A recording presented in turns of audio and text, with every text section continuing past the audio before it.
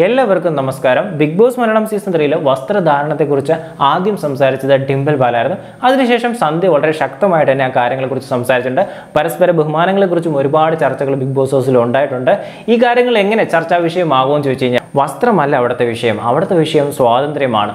സ്ത്രീയുടെ സ്വാതന്ത്ര്യം. ഈ വസ്ത്രധാരണത്തെക്കുറിച്ചുള്ള ചോദ്യവും അടങ്ങിയും ഒതുങ്ങിയും ജീവിക്കണം എന്നുള്ളൊരു പ്രയോഗമൊക്കെ എന്തുകൊണ്ട് ഇത് മനുഷ്യരിലേക്ക് പോകുന്നില്ല? പുരുഷന്മാരെ സ്ത്രീകളെ എന്നുള്ളൊരു വേർതിരിവ് നമ്മുടെ സമൂഹത്തിന് എങ്ങനെ ഉണ്ടാവുന്നു? അതിൽ നിന്ന് നമ്മൾ മുന്നോട്ട് വരണമെങ്കിൽ എന്തൊക്കെ ചെയ്യണം? ഈ കാര്യങ്ങളൊക്കെ ഉൾപ്പെടുത്തിയിട്ടുള്ള ഒരു സിനിമയാണ് എനോള ഹോംസ്. നമ്മുടെ ഭാവിയും ജീവിത ലക്ഷ്യവും സ്വാതന്ത്ര്യവും ഒക്കെ നമ്മൾ തന്നെ പോരാടി നേടിയെടുക്കണമെന്നാണ് എനോളയുടെ കഥ പറയുന്നത്. എനോളയുടെ അമ്മ ഒരിക്കൽ എനോളയോട് പറയുന്നുണ്ട് നിനക്ക് രണ്ട് വഴി തിരഞ്ഞെടുക്കാം. ഒന്ന് സമൂഹം നിനക്കായിട്ട് പറഞ്ഞു വെച്ചിട്ടുള്ള വഴി മറ്റൊന്ന് നിന്റെ വഴി. എനോളയുടെ അമ്മ എനോളയെ പഠിപ്പിക്കുന്നത് ശാസ്ത്രവും സ്വയരക്ഷയ്ക്ക് വേണ്ടിയുള്ള ആയോധന മുറകളുമാണ്. എന്നാൽ സ്കൂളിൽ നിർബന്ധിതയായിട്ട് അവൾക്ക് പഠിക്കേണ്ടി വരുന്നത് എങ്ങനെ ചിരിക്കാം എങ്ങനെ ഒരു നല്ല ഭാര്യയാവും എങ്ങനെ നടക്കാം എന്നതൊക്കെയാണ്. ആയിരത്തി തൊള്ളായിരത്തിൽ നടക്കുന്ന ഒരു വിപ്ലവത്തെക്കുറിച്ചാണ് എനോള ഹോംസ് നമ്മളോട് സംസാരിക്കുന്നത്. ഷെർലോക്ക് ഹോംസിന്റെ അനിയത്തിയാണ് എനോള ഹോംസ്. സമൂഹം ചങ്ങലയുമായിട്ട് വരുമ്പോൾ ഒറ്റയ്ക്ക് പടപെരുന്ന എനോളയെ നമുക്ക് കാണാം.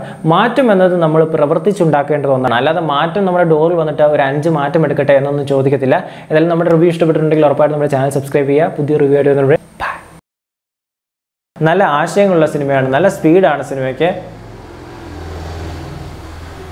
ഷെർലോക്ക് ഹോംസിന്റെ അത്രയും തീവ്രമായ ഒരു ഇൻവെസ്റ്റിഗേഷൻ പ്രതീക്ഷിക്കേണ്ട.